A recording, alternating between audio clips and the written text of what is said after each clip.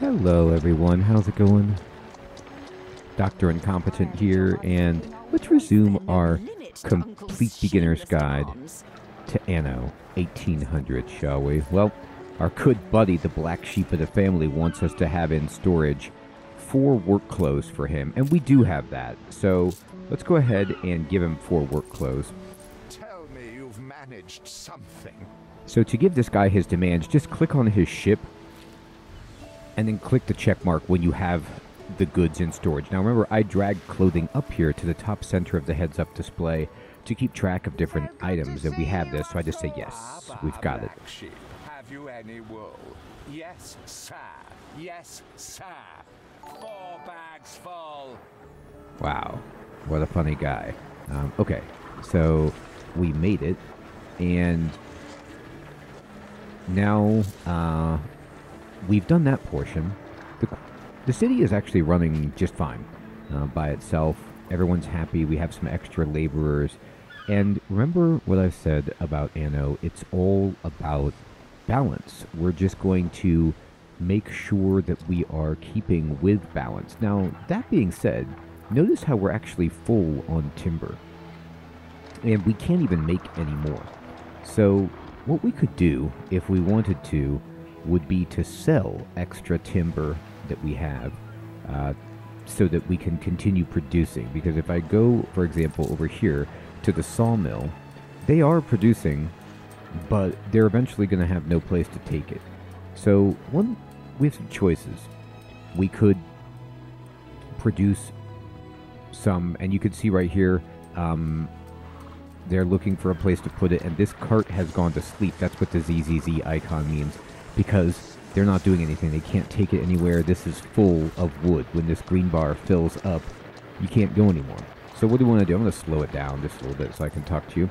And what we definitely want to do in this spot is think about ways to use our extra wood. Uh, and one of the best ways is by, well, just buying more houses for people to move into. However, if we do that, we put a strain on our fish and our clothing and even our schnapps. So the question is, can we support that? And let's look at the fishery. It's producing here. But what I want to do is just click on my trading post and see um, if I mouse over fish. You see how it says trend increasing plus two? That means it's slowly filling up. So we're actually making re- reasonable progress on fish and can probably build a little bit more. So I'm going to just click on the farmer residence and I'm going to build one here. I'm going to build one uh, up here it, so it touches the road right next to the market and I can build one here. Now this is taking just a little bit of lumber to drop in. I'll build one here and one here. I'm not going to build too many, but that's a good start. And then we'll just let this go, and we'll see. Um, you know, they need fish, but they'll be able to get fish in a moment once it's delivered to them. So sometimes you just have to wait for uh, them to get all the stuff that they're looking for. We certainly, though, don't really have um, that many clothing. Let me look and click on our warehouse. You can click on your warehouse or on your trading post to kind of see your uh, industry, like how many of your goods are coming in. And right here, we're still increasing. And on clothing, it's stable. So when something is stable, and I know I want to expand by growing more population, um, I'm going to need to build more places to produce clothing. So currently, uh, the livestock area uh, oh, can we build more of these? Two out of five. Maybe I didn't build enough. No, no, no. Three. Okay, there we go. Uh, we have three out of three. And they're producing at 100% rate, and they're making at 96% rate. So these are working about as well as they can. So I'm going to then um, make another one of these. Now I can pipette this by right clicking and let's talk about the right click menu. We haven't really discussed this yet. The right click is super powerful in this game, and you can customize this to whatever you like as well. Um, but right now, I can right click to just go ahead and use the pipette or the copy tool, click copy, and then you can click on this building and um, make it somewhere else. And so you can click copy this guy, and then I want to drop it in right here. Now, when you copy something like the sheep farm, it does not copy the pens. You,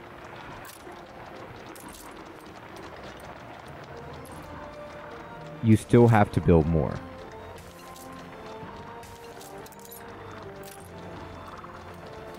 All right. Now, I have a sheep farm, and I have laborers that can go here. Remember, when you're building stuff too, to keep track of your balance, you need to look at your workforce. I still have 53 extra workers, so this is great.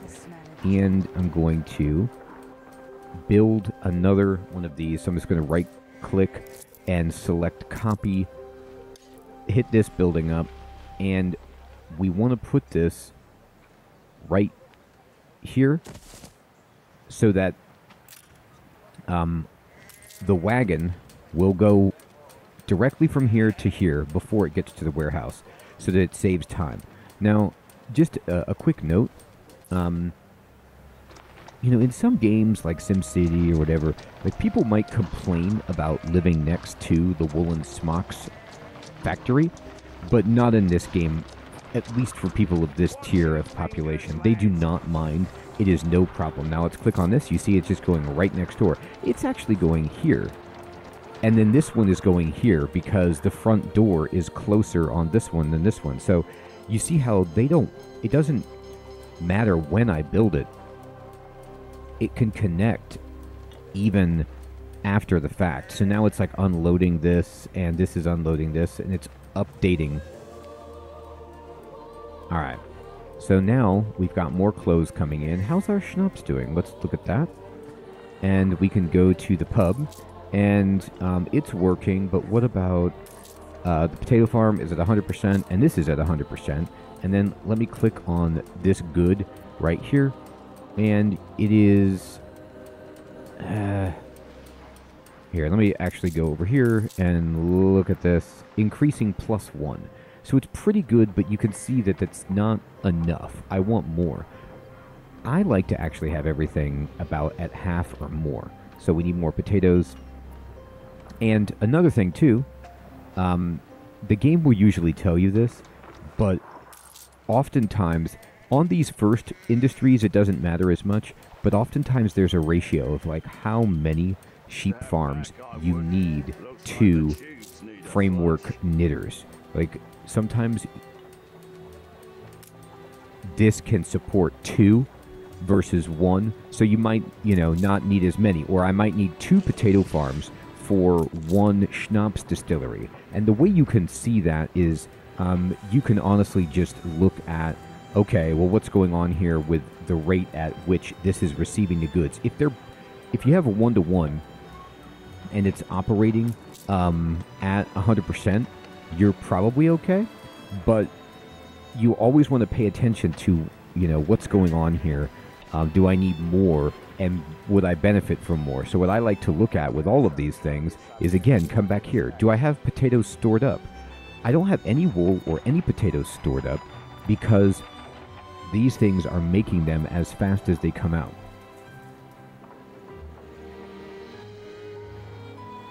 But take a look at this. After producing all of this, I'm only at plus 17 on my labor. So I'm kind of running down on free laborers, and I would need to build more farmers to get this going. But if I click on these farmers, for example, um, there's still people are still moving in.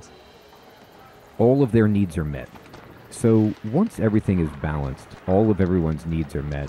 Um, I feel good, and I'm going to go ahead and take care of the quest. We're just going to leave the city for now, and let's jump to this by left-clicking on the target arrow. And this is this tricked me when I first played it, but you need to find your cousin leading a mob in the vicinity of Edward's great exhibition, so construction site. So here it is, but you have to actually look around for an angry mob, and here they are right here. It's like this group of people, and you can click on them, and then you need to find your buddy. be a credit to our family. Um, Find five mobs that are rioting. So this is actually not a rioting mob. That's just a group of people. So oh, here they are. They're all angry. So we got one, and then when you click them, they kind of go away, um, just as you locate where people are getting upset. And you oh, here we go. Here's another one. So you just kind of look around. You can hear them, and you see they have these big signs that say "strike," and you just click on them. And th- this is the journey. He says, um, "The people of Bright Sands are not happy with your uncle's oppressive conditions." And are willing to serve a fairer employer, which is us. Find the rioters and convince them to join your company. So we're clicking on them and then we're making them disappear by coming to our island.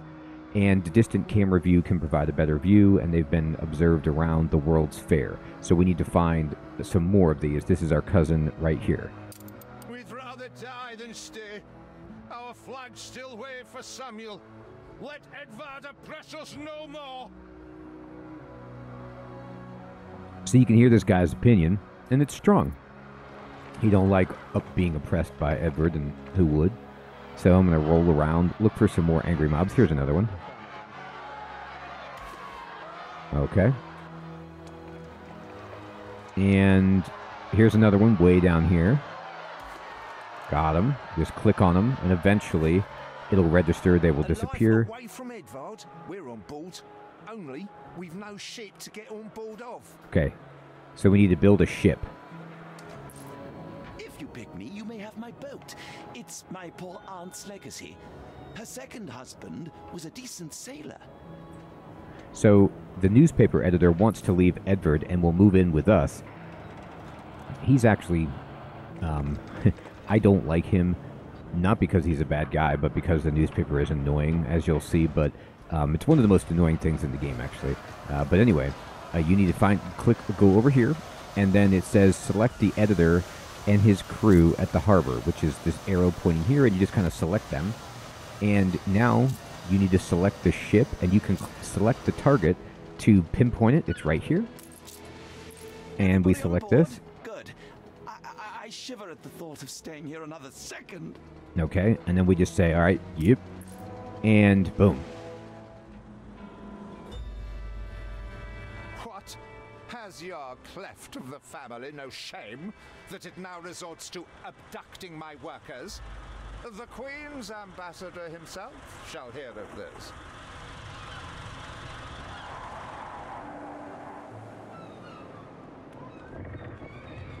Abduction is a severe accusation. And if I may, uh, excuse me, a false one. We left Edvard quite willingly. All right. Pencil polishing Popinjay. I should have been rid of you long ago. I see nothing criminal. A bit of interfamilial bickering is only natural, and hardly a matter for the crown. And as for you, I have quite forgotten my manners. Sir Archibald Blake, ambassador and confidant to the Queen. Despite the circumstances, Her Majesty and I were pleased to hear of your return. Your father's death was a tragedy. We regret he never had the chance of a fair trial. The real tragedy here is the vast funeral bill that goes unpaid, while this brat is living the life of O'Reilly. Sadly, The life of O'Reilly. has indeed alerted me to some um, floating liabilities. I fear you have no choice but to settle them if I am to grant you your crown shipping license. We want that. Edvard registered the debt officially. Yeah, terrible. Don't worry, that old tyrant can't hold us back anymore. We got the cousin. Indeed. Once my letterpress is up and running, the truth will come back to haunt Edvard. Uh, for your hospitality, please use my ship howsoever you may wish. Now that sounds like good news.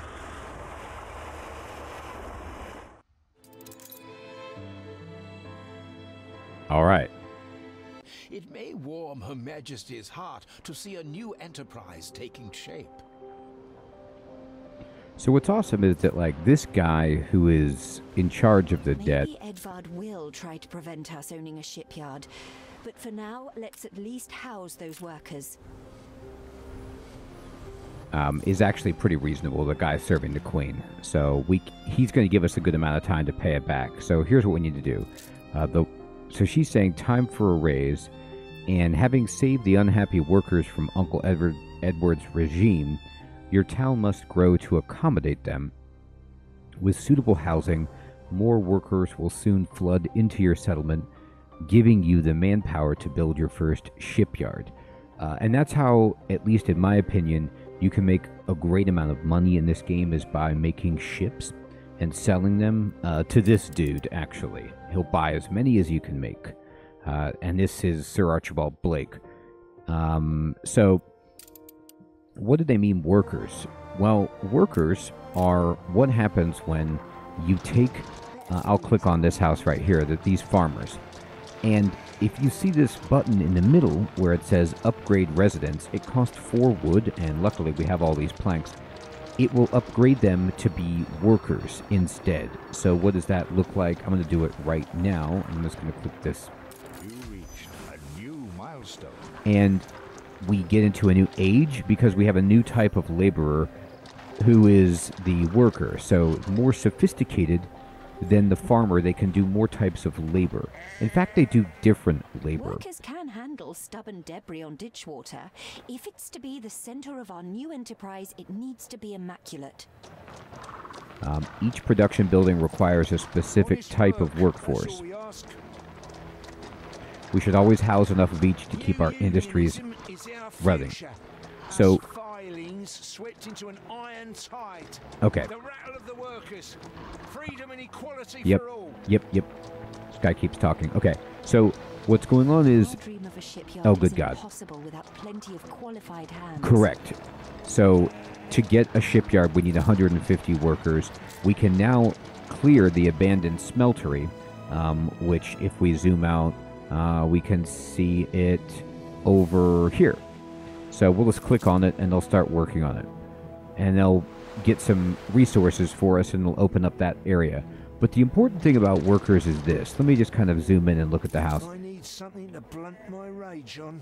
So what's going on is, and this is very important about the game. The workers are more sophisticated, but they cannot and will not do labor that is not of their station. So farmers can only do farmer jobs, and workers can only do um, worker jobs, and so on. So people of different strata cannot work down below they um, or e- above their station. So, um, additionally, if I look at the worker in this panel, you'll see how, like, for example, the farmer is happy with just fish, um, a market, and clothing. And then what makes them happy is schnapps and a pub, and then they're pretty much okay. Now, however, the as you get more advanced workers and citizens, they their demands increase. So they're like, okay, we want all the stuff that a farmer makes, plus we want sausages, bread, soap, schools, and not just schnapps and pubs, but we also want beer and a church. So it takes more and more to make them happy. And let's think about that right now. So we can upgrade by just clicking on, you know, a farmer and saying upgrade. But you can also use the upgrade feature right here by turning your cursor into an up. If you click this, you'll notice how any place that I can upgrade it's eligible will have this big green arrow in it. And then you can just kind of click on it to upgrade it. Passionate young reporters enlisted. Our publishing house is already well underway. So this guy's publishing house is underway, um, which is unfortunate. So the newspaper can make your people happy, but more often than not, in my experience, it gives bad press, which makes people unhappy because you know you're struggling to survive right here. So everything is not going to be great because it takes a while to get on your feet. But that's just the way the ball bounces. So it, from this screen, you can hold shift and select a big area, and then here we go. Um, you can't select into red. You have to select into green. So select a, an available upgrade unit and then drag and then upgrade. And you can upgrade more than one. Now, notice how though, once I've upgraded, I've now have don't have enough farmers. So you have to really be careful at this point in the game of not getting too upgrade happy because it is not the case, um, oops, that you don't need the lower tier and you want to immediately upgrade. You need this tier. Now they need a road, so I'm going to build a road back here to get to them so they can get to the market. And it is worthwhile to click on the market and just make sure that everybody can get to it, but it does have a pretty big radius. You can see all these streets are green, which means everybody can get to the market, so uh, we can continue building. And we're going to go ahead and click on this. And I will build here and here, and I'm going to just kind of there we go. Build a road back here. All right, this looks great. Now, um, we'll wait, but you'll see how this, um, there's too many transporters. So what this means is eventually this warehouse can only serve a certain number of wagons at a time. So we only have one warehouse and it's taking them forever. So we're going to need to build another warehouse to alleviate some of the strain here. I'm going to build it over here by these industries. So I'm going to use my pipette tool, just copy this, and we'll build another one. And we can build it right here.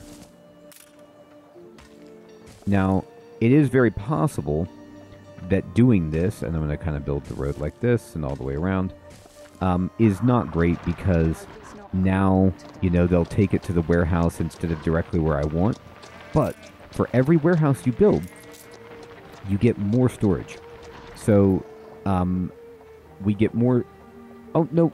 Actually, I misspoke. You do not. It's not for warehouses, it's for um, trading posts, I believe. So, this doesn't increase our max storage, but what it does for us is it allows um, some of the goods to be stored here so that we uh, relieve the burden on this so there isn't a backup because everybody was having to go there. So now we are finally back into the positive on farmers, but again, I'm moving very slowly. Uh, we want to look at our numbers to see if everything is going well. And indeed, pretty much most things are, although we could use more potatoes and more um, wool at some point. So I'm going to keep building small residents. And you can upgrade these later, these farmer residents. I'm going to build one here. And you want to not build them in the range of your lumber mill because they need the trees. So I'm going to keep those there. But you want to make sure that they are in range of the marketplace. So click on this. And for the most part, uh, let's see, how far can this get? So the fire station is having a little bit of trouble getting over here, but it still can. So you want to make sure that it's in the range of your services. Remember, though, it does not matter if your workers are close enough to their work. It doesn't matter that the like a farmer over here is like, hey, my job's way over here. That's a problem, and it takes me a while to get there. They don't really care about that. So don't you don't have to stress about that. You got to stress about other things, but not about that. All right, so I'm going to go ahead and copy. And I'm going to select this. And I'm not worried about continuing the road right through there at the moment. I'll build a road like this. And the road back around this other side. And I'm honestly, I have a, a good amount of wood. I'm waiting. I'll push it up. I'll just go back to normal speed and I'm going to right click menu, select copy, and you can just drag this out. And there. And that's going to use a lot of lumber, um, but not a ton. And there we go. So now I have this massive section that's going to be uh, filled up, and we'll just wait. We need, I like to have these numbers high both of them. Um, not super high, but at least 50 because you want to make sure that you have enough people. Sometimes what will happen is like your industry will get blocked for a particular thing because you have too much of it, and then those workers will just be idle. And you will misconstrue, and then you will kind of promote people out of that category. And then all of a sudden, that resource, there's a demand for it, people have to go back to work, and then your numbers don't line up. So you've got to be really careful um, with making sure you have a surplus here before you go crazy promoting. All of these people pay money. And here is one of the secrets to the game as well. So it's like their needs, okay, um, will allow you to promote, but their happiness is what tells you how much income they give you. So how happy they are reflects how much money you make. Whereas the needs are like how many people live there. So you want this number to be high because of that they have all their needs met and these are required for them to be promoted. You can't promote them unless they have all of these met. Um, but this one, happiness, reflects how much money you make. So you really want them to be happy so that you make money. And in fact, look at this. We're at plus 140 on our balance. Now, I'm moving super slowly. I am just being very, very patient. It's so easy in this game. Especially what throws me is you start with a lot of money, and then, like building a house, for example, if I click farmer residents, it doesn't actually cost any money. It just costs some wood. So you think, oh, I can just drop these down, you know, indiscriminately. But it puts a strain on your um, system. So we have fish, we have, you know, shirts. We need some more schnapps. So we can start putting those in. But also, you want to be sure. There we go. And, oh, what's this star? Resident quest. So these people, um, oh, they just want to give us 20 potatoes, which is great. So just take them, and we just get 20 potatoes for free. Um, and then it says collect a gift, so you just have to pick it up with your hand, and then that somehow makes them happy. They're like, sweet. So sometimes your people will have quests. You usually want to do them. They give you good rewards, and it's just like uh, random if those happen. So it's kind of cool. It's a vibrant part. So after some time, I actually have 145. We're making money. So I'm going to go back to promoting people.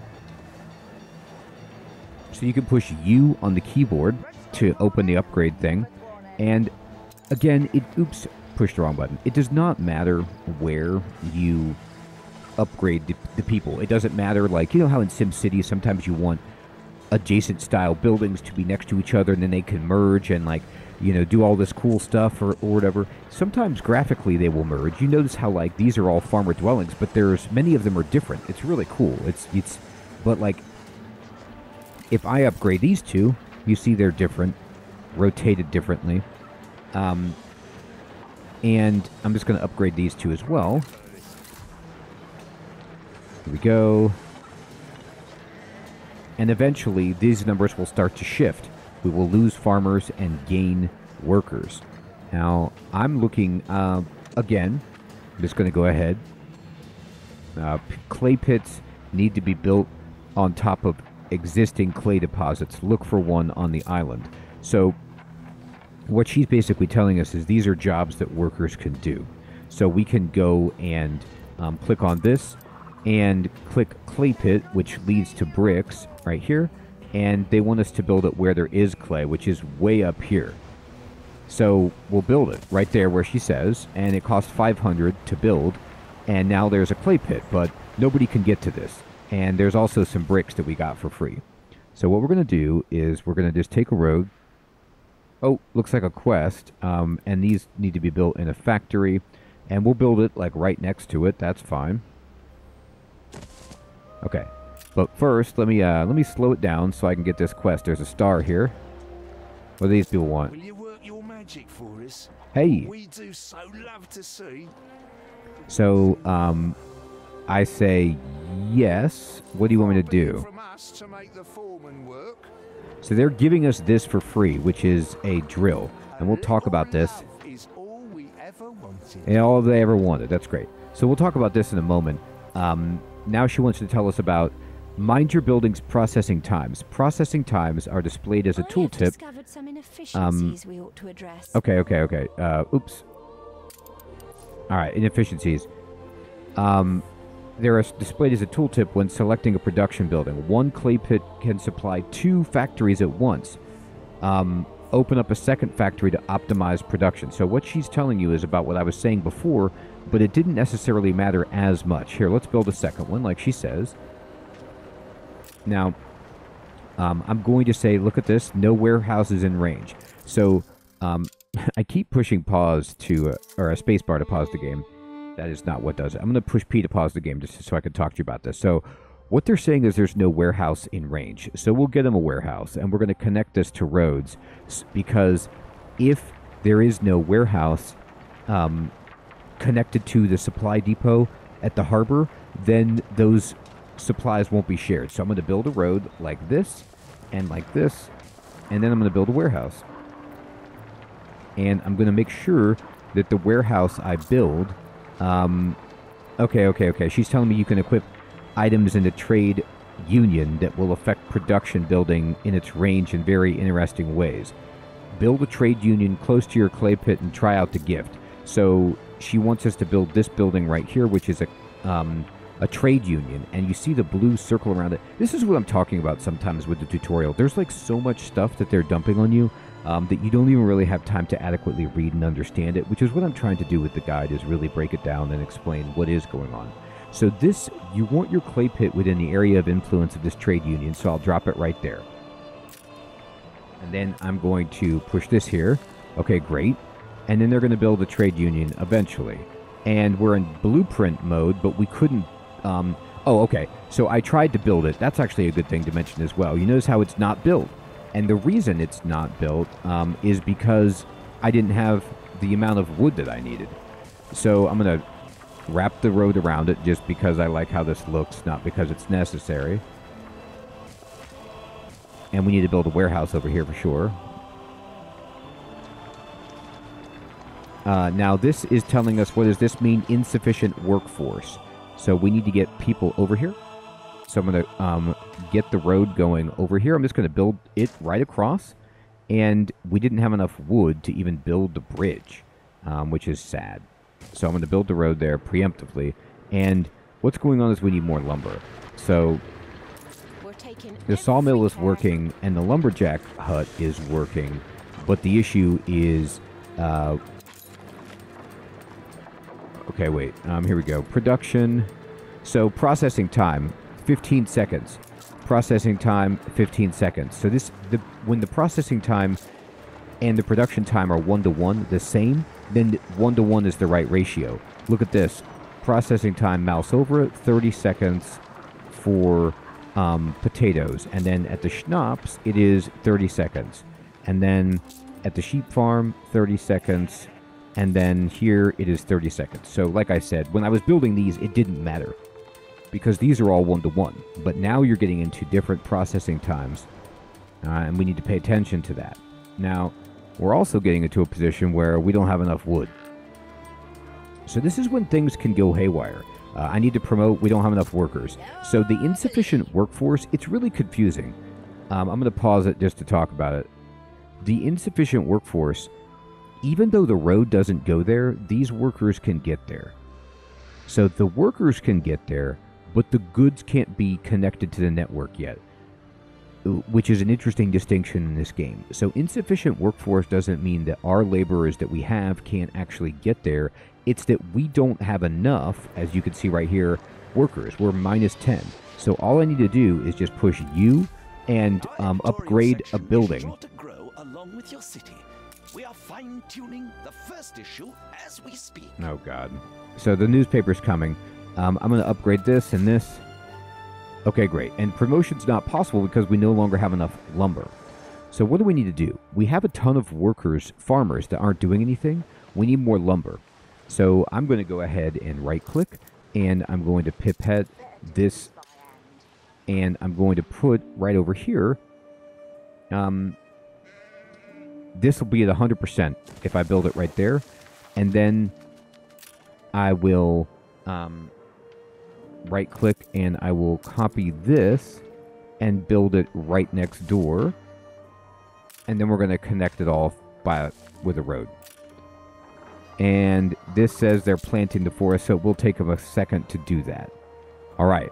So perfect. So we're still profitable. But again, you got to go slow in this game because if you mess up the balance, it's really hard to work backwards and to balance things out. And it's I've honestly had to start the campaign before, in especially in Anno 2070 when I was first learning to play Anno games, and totally restart them because I set myself in a position that I couldn't recover from, or it was going to take forever. So go slow and steady, even though they're going to like dump all of these things on you. Be like, hey, do this, hey, do that. Just pump the brakes and be patient. We've got a surplus of workers. We're getting some labor, but we need more. And there's no rush on any of these quests. Like, you're fine. Don't worry about rushing. We'll get there when we get there. Everyone, we have a lot of work still to do. I want to talk about the trade union. We need to get more lumber. We need to get, um, you know, uh, perhaps more fish, more storage situated, etc. And we will get into that next time. Everyone, this is a good place to end this episode. We've got workers. We're expanding our empire, and with new types of workers come new buildings that you can make, and the game gets more and more fun as the complexity unravels and your city really grows. Thank you so much for watching, everyone. Take care.